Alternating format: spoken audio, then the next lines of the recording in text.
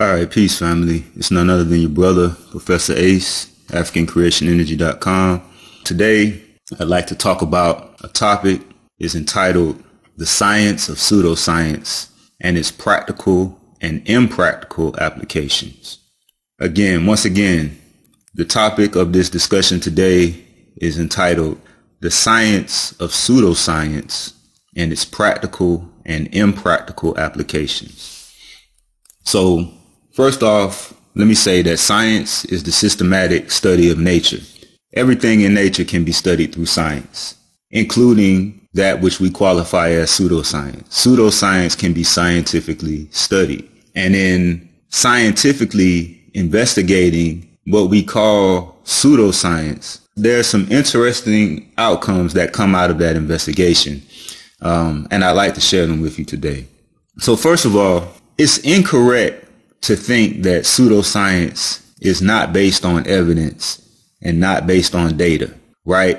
If pseudoscience was not based on any evidence, not based on any data, then it would be impossible to argue with someone who was promoting pseudoscientific ideas because they, they would have nothing to say, right? If you're ever in a debate with someone who promotes pseudoscientific ideas and you're presenting them with facts to support science, the person who's promoting pseudoscience will also be able to come back and present information to support their pseudoscientific idea, right? So it's incorrect to think that pseudoscience is not based on evidence or it's not based on any data, right? On the contrary, what you find is that people who promote pseudoscientific ideas are actually capable of citing and presenting vast amount of data and information to support their argument. So it's important to distinguish the difference between pseudoscience and pseudo information. Pseudo information is basically just another word for misinformation, false information, incorrect information. It's important to distinguish the difference between pseudoscience and pseudo information, right? A pseudoscientist actually has evidence not misinformation, but actually has information. It could be, it could be correct information that supports their pseudo scientific idea. But pseudo pseudo information, false information, misinformation is e- is easily refuted. You just present the fact, right? You say that the apple is purple, and then I and then we bring forth the apple, and it's either red or green. Case closed, right? Pseudo information is easily refuted with facts and information, right? But the reason people will like accept pseudo information is because they've learned over time for whatever reason to accept information coming from a particular source, right? They've learned over time to trust a particular source, right? And, you know, this is usually done because it could be a particular person who has shown some proficiency in a particular area, right? And because that person has shown some particular proficiency and expertise in a particular area, people have learned to, oh, I can, I can take his word for it. I can, I can accept, I can accept what he's saying. I can trust him. I can believe him. I can believe what he's saying. And then for, if for whatever reason that source decides to start making up things, then that person is now presenting pseudo information or incorrect information. And people who have learned to trust that source are now falling for that pseudo information or misinformation, right? I will provide a link in the description of this video below where there's an article that talks about um, the fact that misinformation or the acceptance and, and promotion of misinformation is more about the source you trust than it is what you think, right? And it's it is trusting, accepting, and believing in pseudo information or misinformation, which leads to people getting scammed, conned, hustled, and finessed. Right? The word "con man" is short for confidence man. Right? Why why why is it a confidence man? Because for whatever reason you have confidence in this particular person, and then they go ahead and they present you with some pseudo information or some mis- misinformation, which you in turn accept and then later on you find out was false and now you're upset when it all started with the fact that you had confidence, you trusted, you believed in this person, in this source in the first place, right? So So that's pseudo information. Pseudo information is just incorrect information, which is easily refuted. It's easily refuted with facts. Pseudo information is problematic, but it's not nearly as problematic as pseudoscience because pseudoscience is more sophisticated. And we'll discuss it as we proceed, right? So again, it's incorrect to think that pseudoscience is not based on evidence. It is based on evidence. It is based on information. It is based on data. If it was not based on evidence, information, and data, you would not be able to debate with someone who promotes pseudoscience. It's also incorrect to assume that pseudoscience is not based on reason. Again, if pseudoscience was not based on reason, then you would be unable to have a discourse, a debate with someone who's promoting pseudoscience. But what you find is you find debates with people who promote pseudoscience. It's, it's not wholly unreasonable. It's not wholly illogical, right? There are portions of the debate that is actually, you know, well thought out, even though they're promoting pseudoscience. So at the beginning of this year, I did a video called the nine types of reason. And in that video, I discussed the fact that there are different types of reason, including inductive reasoning, abductive reasoning, and deductive reasoning. When we scientifically analyze pseudoscience, we can observe that pseudoscience does utilize inductive reasoning and abductive reasoning. And that's why pseudoscience is so uh, uh, deceptive, right? Because it is based on evidence it is based on experience and it is based on reason. Whoa. How can pseudoscience be based on evidence, experience, and reason? These, these things that uh, we have rhetorically repeated as, as the foundation of science, but they also can be found within pseudoscientific ideas, right? So if pseudoscience is based on evidence, experience, and reason, then what exactly is pseudoscience? Let's define pseudoscience, right?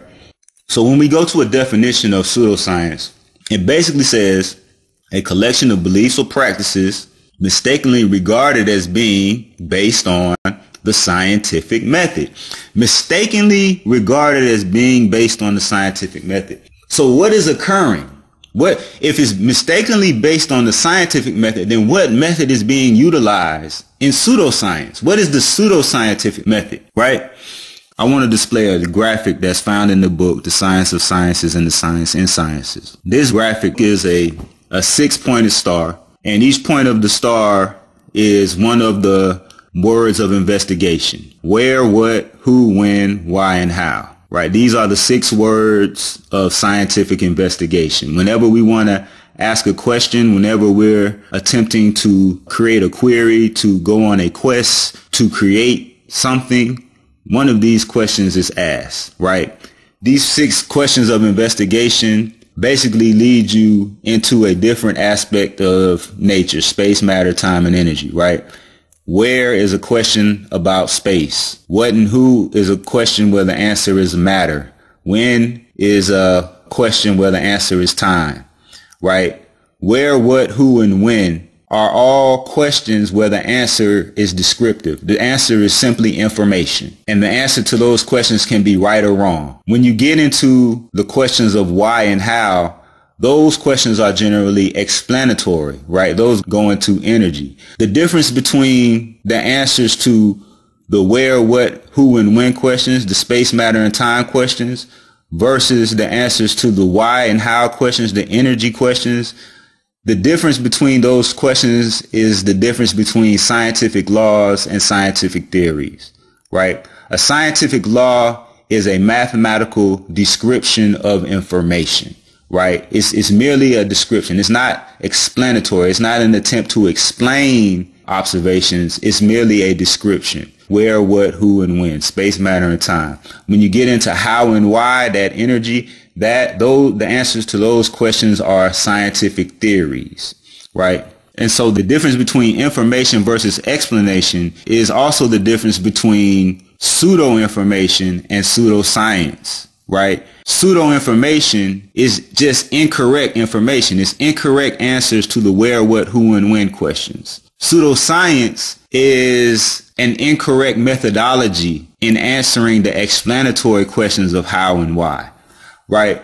And so In a video that I did last year entitled Science is My Religion, the Electron is God, and, Sci- and Scientists Are Prophets, I described the pseudoscientific method, which I, I cut out of the final video that I posted, but I'm going to insert the excerpt of the description of the pseudoscientific method here and then uh, continue on with the discussion. But just like there are people who do not want to be bound by the constraints of religion and thus become spiritual, there are people who do not want to be bound by the constraints of science. Those who do not want to follow the system, those who do not want to follow the methodology, they do not want to be held accountable, and thus they give birth to pseudoscience.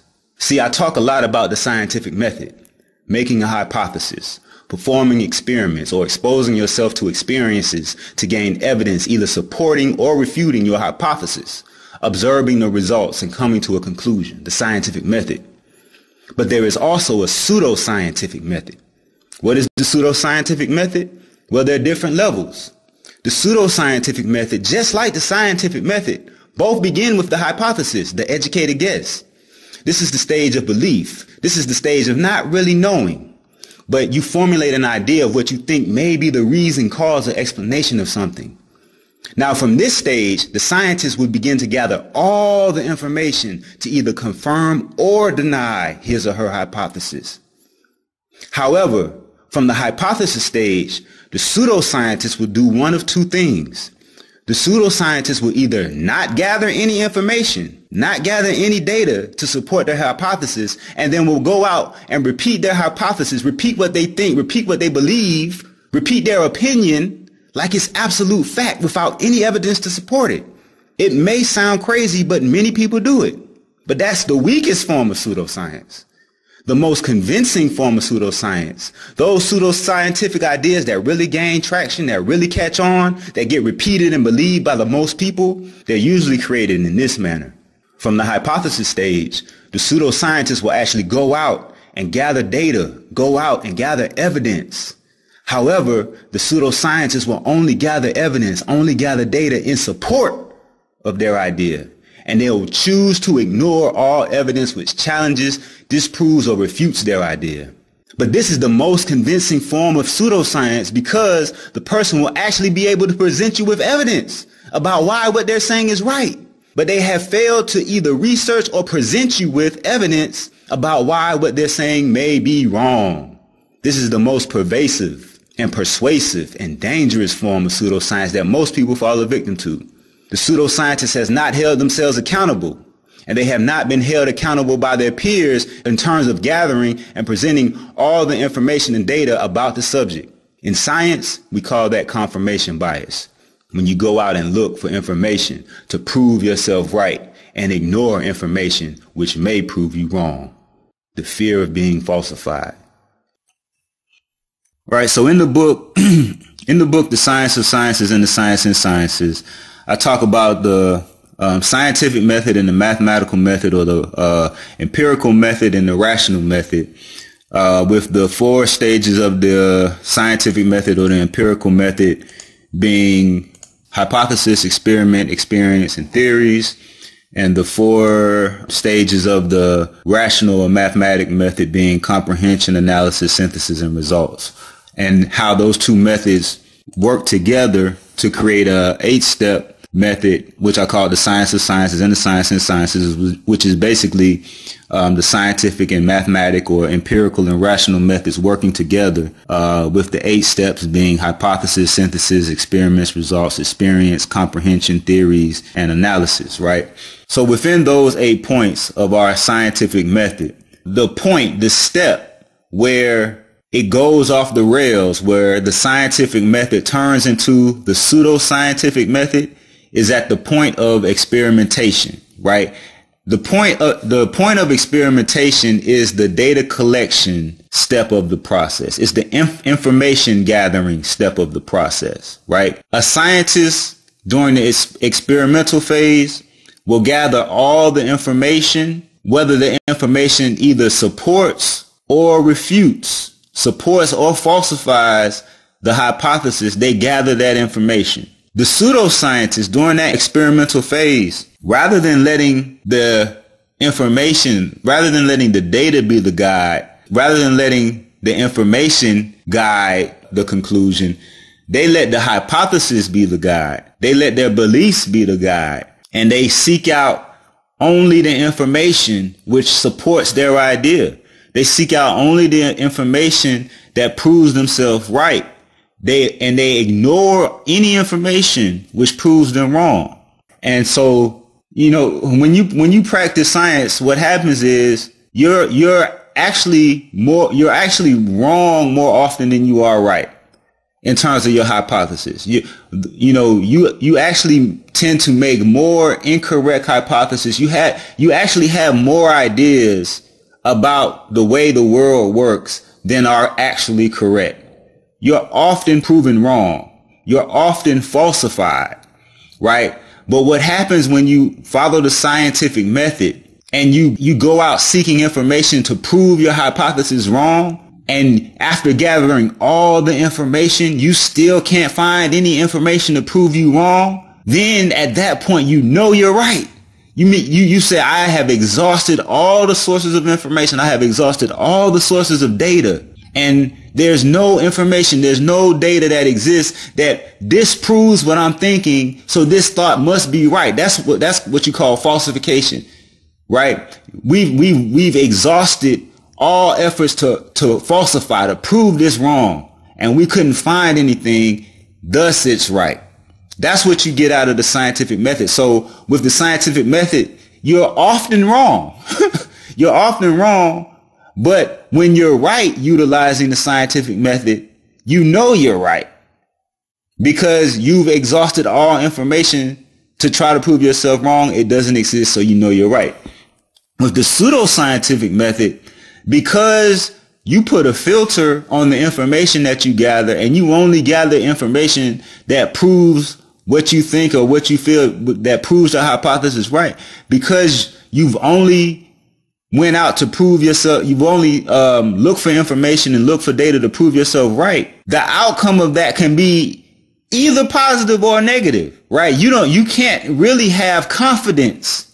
You can't using that type of method, methodology, using the pseudoscientific methodology, you can't really have confidence that your in conclusion is correct because you didn't you didn't go out to try to you didn't try to prove yourself wrong. You only tried to prove yourself right.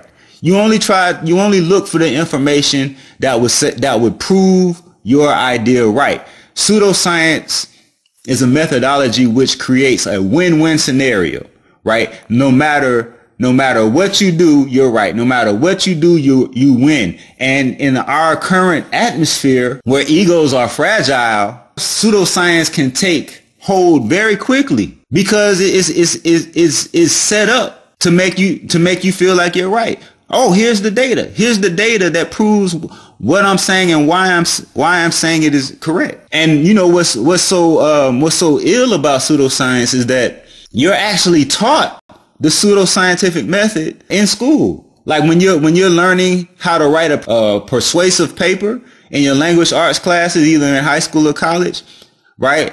What what does the teacher say? The teacher says, think of a topic and then give examples that support your idea. That's that's that's the definition of pseudoscience. You have an idea and you go out and you look for information that proves your idea right. so and and and because you're taught that you can go forward from that thinking I'm following proper methodology, but you have to check the nuance. That is something that is taught in language arts. That's not something that's taught in your natural science courses, right? But even, you know, even in the professional world, I've seen where people utilize pseudoscientific ideas, like when they're pre- presenting to their um, stakeholders. They're presenting to board members. They curate data. They they select. When you say curate data, like a curator of a museum is the person who puts together the different displays that are supposed to appear in the, in the museum, and you know they they pick and choose um, what to present, right? And at, in within the professional world, e- even within the scientific professional world, people curate their data. They curate their information. They pick and choose the information that is favorable to present. Pseudoscience is pervasive is pervasive within this world. You know what I'm saying? Even, even, even within the scientific community, I've seen it. right? And, and when, and so when we understand what is occurring during the pseudoscientific method, we can identify when and where it occurs and hopefully guard ourselves from it. So uh, in one of the videos I did called The Electron is God, I talk about how, you know, basically how the electron is the only empirical object that I've been able to identify that best matches with the theological definition of what God is, right? And since the electron is the substance of our thoughts, meaning, you know, our thoughts are electrical impulses within our brain. So electrons make up the substance of our thoughts. So a scientific method, a scientific methodology, a scientific thought process is a way in which we learn about God. It's brought on, it's created by God, and it also enables us to learn about God, right? And so if we were to personify the eight phases of the scientific and mathematic method, the science of sciences and the science and sciences, the empirical and rational method, if we were to personify those eight phases, right? You know, it's again during the experimental phase where the scientific method transforms into a pseudoscientific method, right? Which is detrimental and can actually take us away, take us away from the path of science and getting to know God, right? And so I liken, I liken this to the religious concept of the seven archangels and the fallen angel who was Satan, right? within religion, Satan once was an angel, right? So if you if you count Satan amongst the other seven archangels, you have eight. And when Satan rebelled, that's what gave birth to uh, evil in the world, right? And so if we were to personify these different eight steps, you know, we could say that it's during the experimental phase where you know, if that experimental phase starts becoming biased, if that experimental phase starts only trying to prove itself right and not trying to prove itself wrong, then it's that experimental step, it's that experimental angel that becomes the fallen angel, that becomes Satan, right? And so that's why the graphic for this video, um, you know, I used the picture of Satan. I, you know, I said pseudoscience is Satan. The word Satan means adversary, opposition, or one who plots against another, right? Satan seeks to seduce humans into falsehood and sin. That's exactly what pseudoscience does. It seeks to seduce us into falsehood because pseudoscience is based on evidence, experience, and reason, it's very tricky. It can it can seduce you into accepting and, and believing something that is incorrect. Within religion, they say that Satan whispers and affects the minds of all people at some point in time. Well, that's what pseudoscience does. Pseudoscience affects the mind of every person on this planet at some point in time. And there's an evolutionary explanation for that, which we'll discuss later on. So because pseudoscience is based on evidence, experience, and reason, and science is based on evidence, experience, and reason, you say, well, the danger with the pseudoscientific method, where you only look for information that proves you right and ignore information that proves you wrong, the danger in that is due to the fact that there are many counterintuitive things that exist within math and science that you would not naturally think of. It, right? It's counterintuitive. It works against the way you would naturally think of things, right? Examples of uh, these counterintuitive concepts is the fact that two objects of different mass fall at the same rate, right? If you take a bowling ball and a feather, you would expect that those two objects of different mass would fall at different rates. But the reality is counterintuitive. Those two objects of different mass fall at the same rate uh, counterintuitive example from mathematics is the fact that 0.99999 repeating can be mathematically proven to be the same thing as one. It's counterintuitive, right? But if you were to utilize pseudoscientific thinking, you wouldn't be able to arrive at those conclusions. And because we know that these counterintuitive examples exist, scientists have learned to be skeptical of their findings because they're very well aware of human error, right?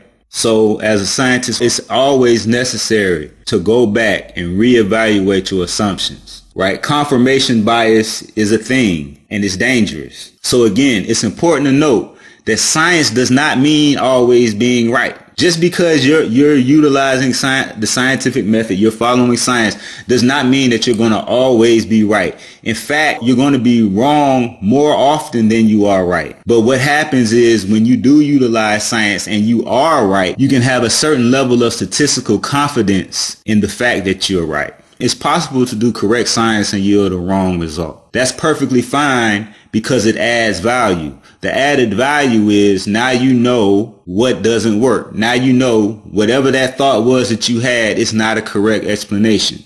And it's possible to do pseudoscience and get a correct result. The difference is when you practice a pseudoscientific method and you get a correct result, that just means that you got lucky.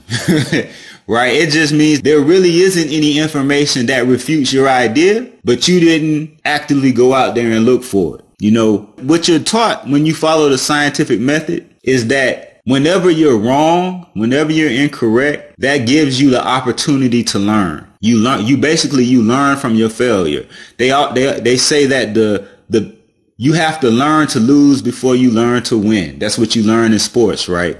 And that's the same, that's the same lesson that you learn when you follow the scientific method. Show me someone who has never been wrong and I'll show you someone who has never learned. The concept of being all wise, right and exact means that that being has never learned anything, right?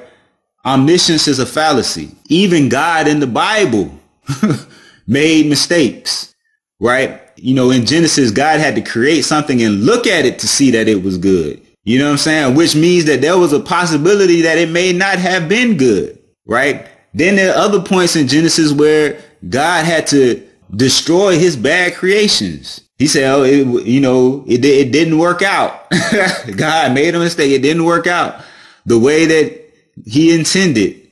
So he had to scratch it all and start over. He regretted, right? So even though pseudoscience creates those win-win scenarios, you know, and it, it feeds your ego in, in that you, you found information that prove yourself right it robs you of the ability to learn from your mistakes, to learn from your failures, to learn from losing, right?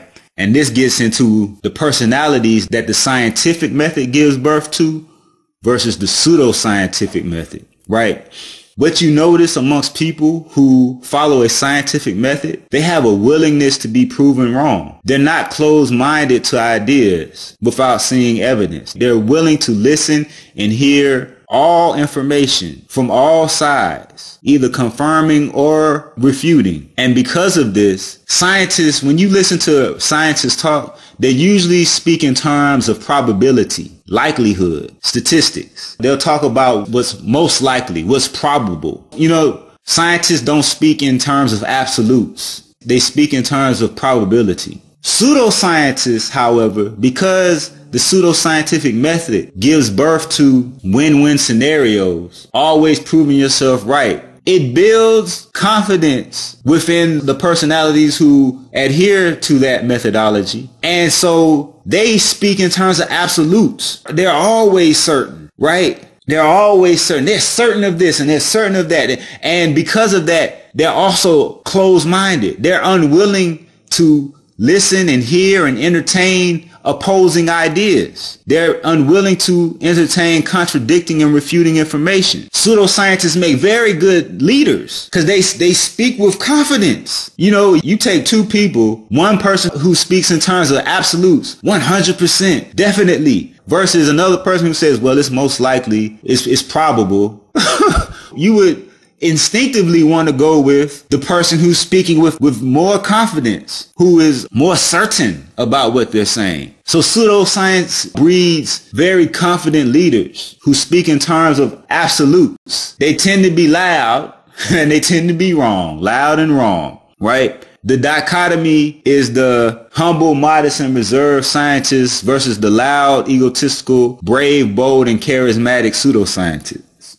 But as we will talk about later the pseudoscientific method and the personalities that it breeds, the appeal of it, the appeal that people have to other people who may be practicing a pseudoscientific methodology and the appeal that the pseudoscientific methodology has in general is all based on evolution. There's an evolutionary explanation for the appeal of pseudoscience.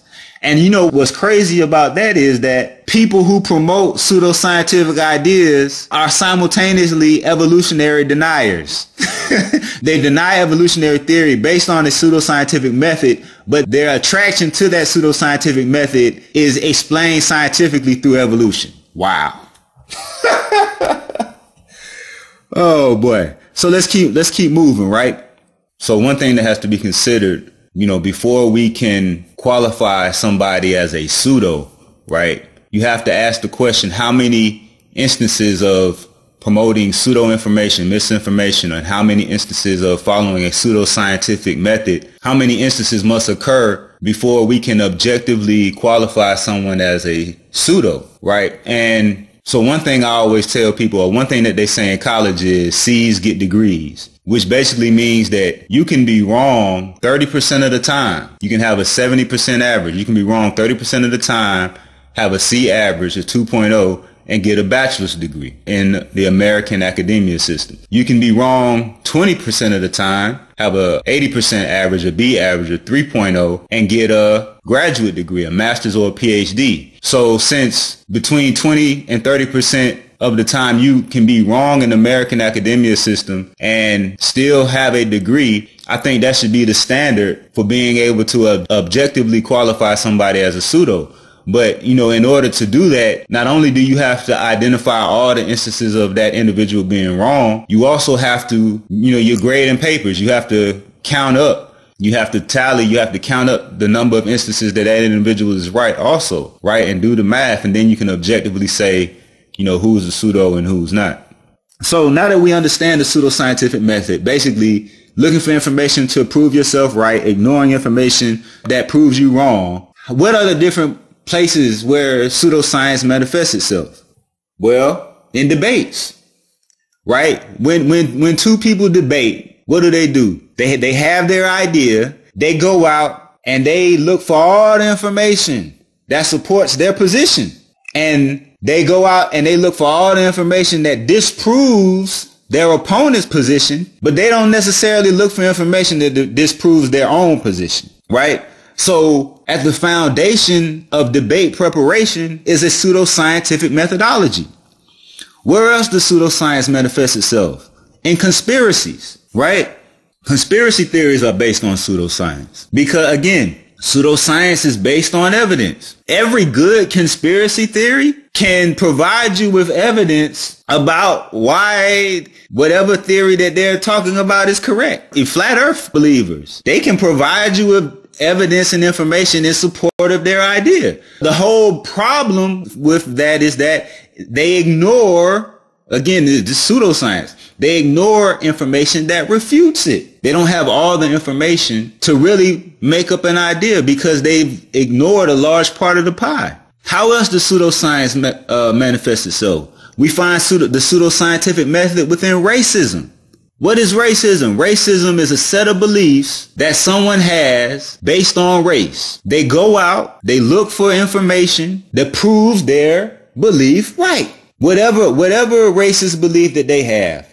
Any, any time that there's evidence in support of their racist belief, they say, aha, see, that's an example. That's why, that's why I think this about this person of this race. But they simultaneously ignore the information which disproves those beliefs. Where else does the pseudoscientific method manifest itself? In court. In court, our very legal system is based on a pseudoscientific method. Both sides, the prosecution and the defense, utilize the information for their own means. It's just like the debate. They utilize the information to prove their side right. They make an attempt to prove the other side wrong, but there's no there's no self accountability there's no self checking method and then in the end the jury is told to make a decision based on the preponderance of evidence meaning which side was more convincing see when you have when you have information you when you have an idea right and you have information in support of and refuting the idea. You have you have to envision a scale, right? On one side of the scale, there's information supporting the concept, supporting the hypothesis. On the other side of the scale, there's information refuting the hypothesis. Again, this is why in the um, the symbol that I use for experimentation, the data information and data collecting step of the scientific method, it's a scale, right? Because it's at that point where information either in support of or refuting or falsifying where information is weighed. And sometimes it, could be equal. Sometimes it could be only slightly leaning in one direction or the other. And sometimes, you know, when you're able to speak in terms of highly probable and highly likely, there's more information that's favorable of the idea than there is information that's disfavorable of that idea, right? So those are those are different conditions, different examples where the pseudoscientific method manifests itself. But I really feel like this portion of the discussion will really add some insight into the science of pseudoscience. This portion of the discussion is about the practical and impractical application of pseudoscience. So again, when you study science, when you study nature, you realize that there are a lot of counterintuitive things that exist within nature. One of those counterintuitive things is this dichotomy between science and pseudoscience in terms of the practical and impractical application. You would think that scientific thinking would be the only way to go, would be the, the most intelligent methodology of thinking 100% of the time. But there are actually instances where scientific thinking can be detrimental. And this, and this insight really sat me down. I really, I was supposed to do this video about a year ago and I, I wrestled with this particular point until I was able to make peace with it. Right? At this point, I want to uh, insert a clip from a conversation that Dr. Neil deGrasse Tyson was having with Dr. Richard Dawkins at the Hayden Planetarium. And after listening to this clip, I want to come back to the discussion. Uh, just talk about the, the, human mind's capacity to know and to think and to believe. You know, I look at how much trouble people have with mathematics, typically. If there's any one subject that the most number of people say I was never good at, insert a topic, it's going to be math. And so I say to myself, if our brain were wired for logical thinking, then math would be everyone's easiest subject. And everything else would be harder. So I, am kind of forced to conclude that our brain is not wired for logic. It's a very good point. And it's more than just that. I think there's also a kind of unwarranted pride in being bad at mathematics. Uh-huh. Uh, you will never hear anybody saying how proud they are of being ignorant of Shakespeare right. uh, or Dryden. Um, but people, plenty of people will say they're, they're proud of being ignorant of, of uh, mathematics. Or if they don't use the word proud, they'll say, I was never good at math. Ha ha ha ha. Yeah, they'll chuckle that, about it. That, it becomes right. a joke. Um, there was a thing in, in one of the British newspapers where a, a science writer, I think a science journalist, was lamenting the fact that many people in Britain uh, think it takes one month for the Earth to orbit the Sun. And the editor then inserted there, doesn't it, Ed?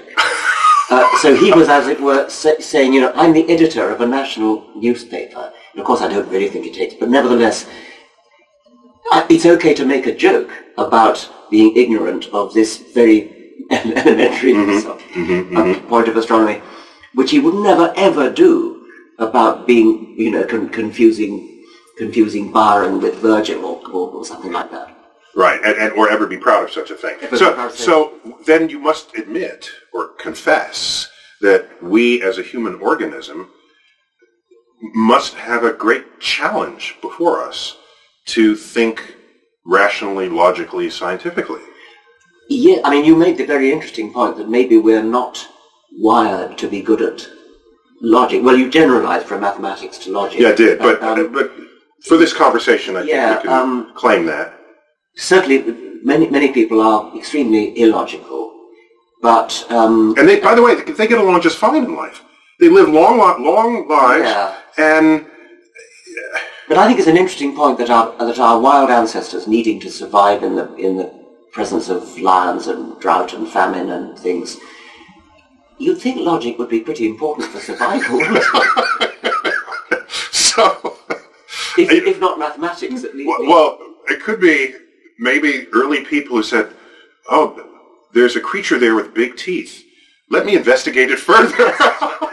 yes, I mean, in a way, that's right. The, It's being some too level- scientific is, a- is a bad thing. Uh, Curiosity Yeah. doesn't always work. Um, my, uh, I, I had a cousin as a, who was a, a little boy, um, put his finger in the, the in the mains and got a shock. So he did it again just to make sure.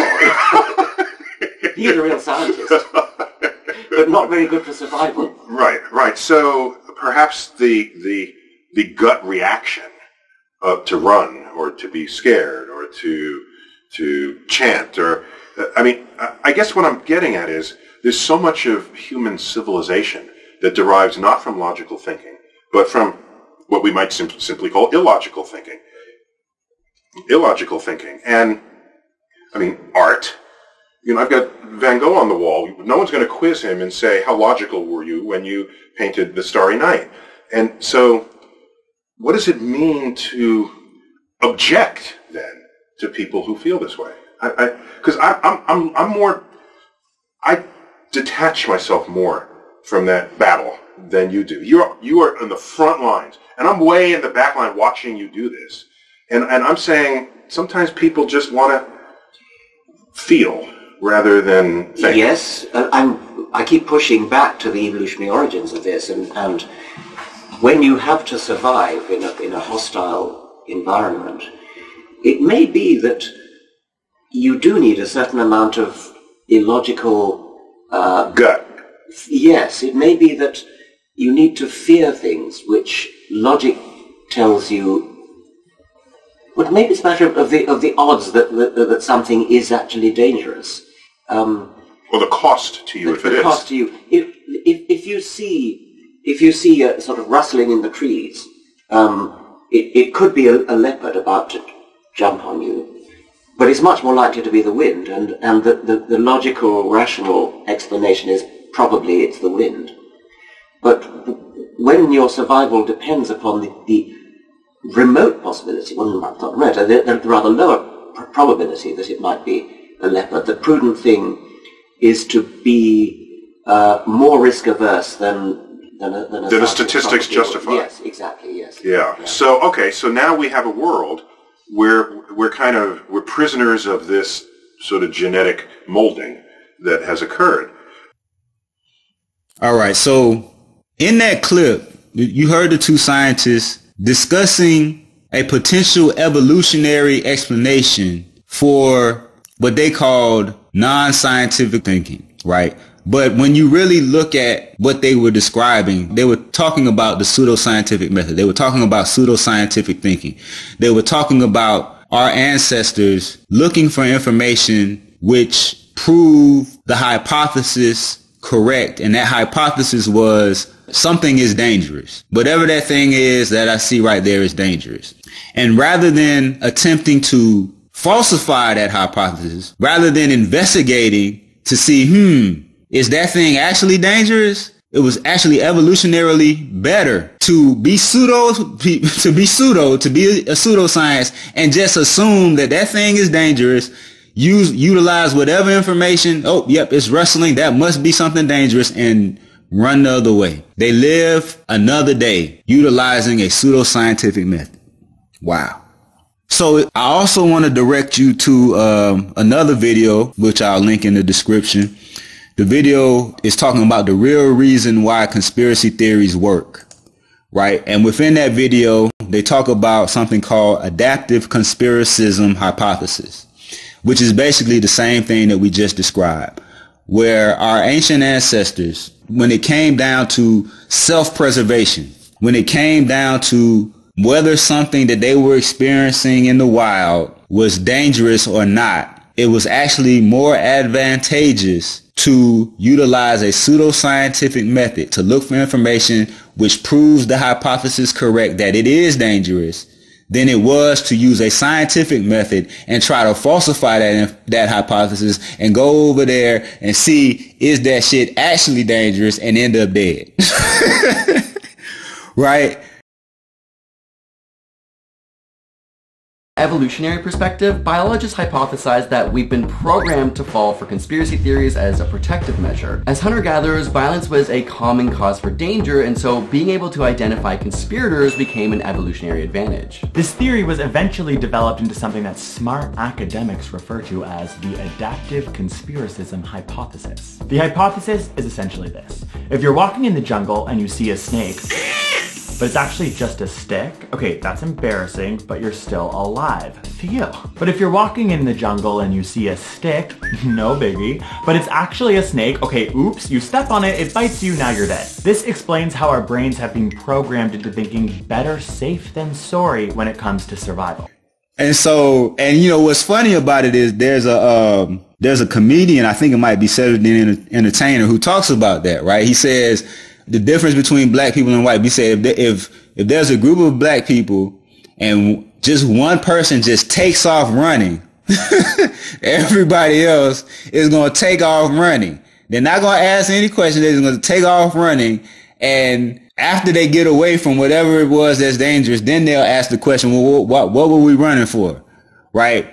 Versus uh, white people, they'll actually walk towards the danger and try to investigate, well, what's going on? Right. And within that dichotomy, you actually see the difference between science and pseudoscience and um, how one could be advantageous and one can be detrimental when it comes to self-preservation. What's deep about it is that self-preservation is what they call the first law of nature. And it is a pseudoscientific thought process. Again, that process is based on evidence. It's based on experience. And it's based on inductive and abductive reasoning. It might not be based on deductive reasoning, but it is based on a form of reasoning. But it's a pseudo-scientific methodology where it's a, it creates a win-win scenario. You survive. You live another day. right? So if pseudoscience is for self-preservation, then I would say science is for survival, right? You utilize science to create, to develop, to build. You utilize science for your food, your clothing, your shelter, your medication. This is why we see the earliest example of the scientific method on a medical papyrus from ancient Kemet, right? But what's deep about it is this simple insight, it shows that there is value even in pseudo in pseudoscientific methodology. And this is coming from scientifically studying pseudoscience. You can find the value in a pseudoscientific methodology. Let's think about um, the story of Eve and the snake in the Bible.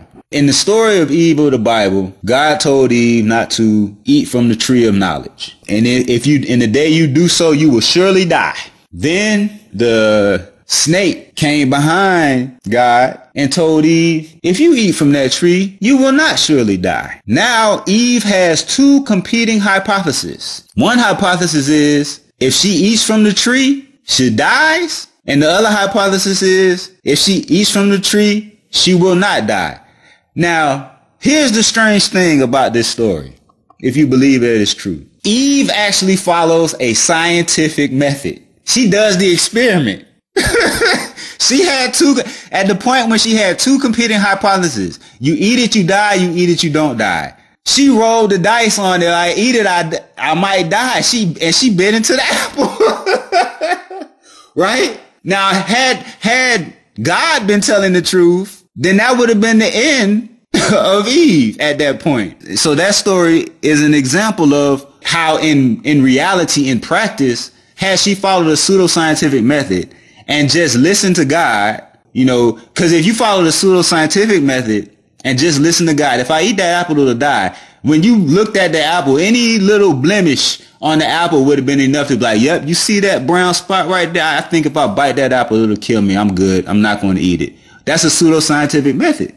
But she actually conducted a scientific method. She did the experiment. She bit into the apple to see will, will it kill her or will it not kill her, right? One thing people talk about when it comes to self-preservation um, and science and pseudoscience, people talk about the paralysis and the analysis, right? When you follow a scientific method, it, it involves a lot of analysis, a lot of analytical thinking. And for our, for our ancestors in the wild, they didn't have time to do that. You had to react. You had to work on instinct. And sometimes that meant following a pseudoscientific methodology. That, that involved looking for information to prove the hypothesis correct that whatever that is, is dangerous and I shouldn't mess with it.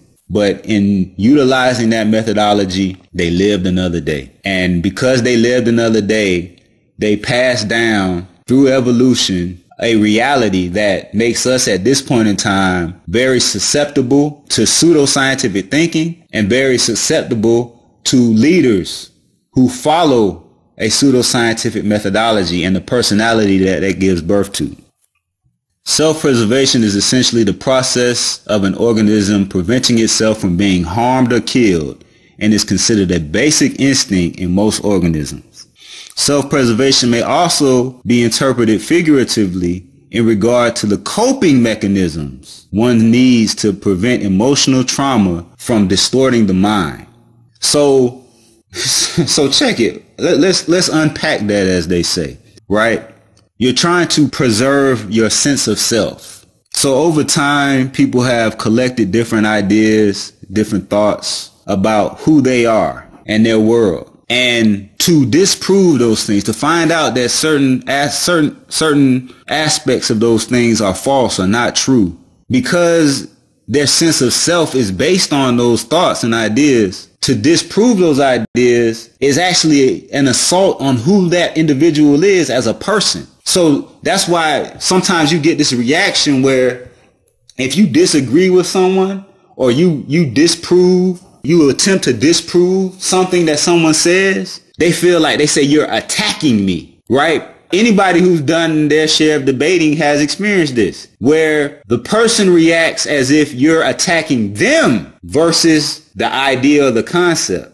And that's because the person's, their sense of selfhood is based on that idea. So in order to preserve their sense of self, again, the self-preservation, in, in order to preserve their sense of self, they start utilizing a pseudoscientific methodology, which we just discussed through evolution, was able to uh, provide self-preservation. They start utilizing that pseudoscientific methodology to preserve their sense of self. That pseudoscientific methodology becomes a defense mechanism an unconscious psychological mechanism that reduces anxiety from arising from potentially harmful stimuli.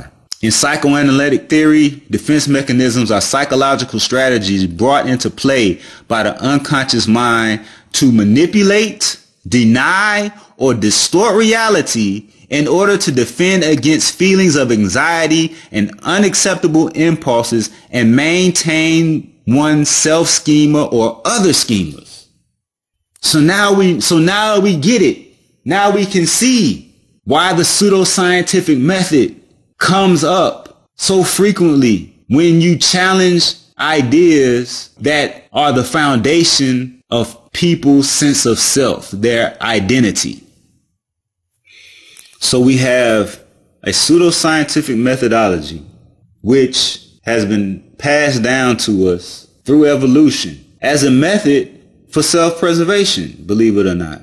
We have a pseudoscientific methodology that gives birth to personalities which we innately as human beings, again through evolution, see as leaders, very confident, charismatic individuals who we would want to be leaders. And then the cherry on top, let's talk about the role of pseudoscience in nation building, right? So because the pseudoscientific methodology gives birth to the personalities that we see as leaders, those leaders are able to galvanize people, to bring people together for the purpose of building nations. Then when we study history, we find that when nations are built, the pseudoscience, the pseudoscientific ideas essentially become, you have these things that they call a noble lie or a pious fiction right? These are fictitious ideas that are promoted amongst the masses of people.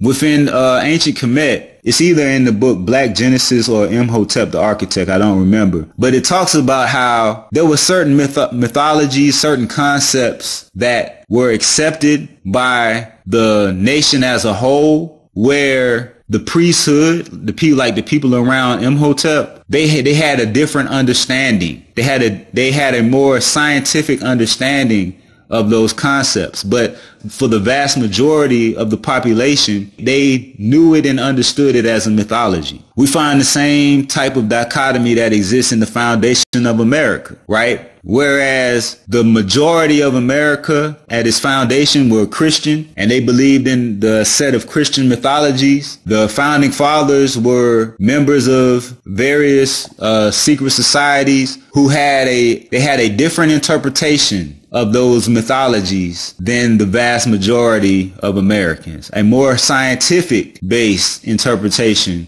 of those mythologies than the majority of America. Um, even when you talk to people who were members of uh, Malachi York's organization, they say that, you know, within the majority of people in the organization, they believed and accepted the mythologies within his organization, they took them at face value. But within the inner circle, the closer, the closer group of brothers, they had a different interpretation, a different understanding of those mythologies. But the takeaway, the thing is that even in nation building, we find that pseudoscience, the pseudoscientific method had its role in the building of our various nations over time. I think going forward, the challenge for us as a people is to build a nation that's based on science. Build a nation that's based on the scientific method. But we can guard ourselves against that persuasive and pervasive schema that is pseudoscience. I think I think the takeaway from this discussion is this. When you study nature, you find that there are there are things that exist in nature that can be detrimental when applied in some instances and can be beneficial when applied in different instances. I think a perfect example of that dichotomy is uh, penicillin because at its discovery, penicillin was, was mold, right? And in certain applications, in certain instances, it could be detrimental to the person. But through, through the use of science, we were able to find a practical application where penicillin could be beneficial. And that's the same type of lesson that we learn when we scientifically investigate pseudoscience. That in history, there was a, there was an actual evolutionary benefit to utilizing pseudoscientific methodology for self-preservation.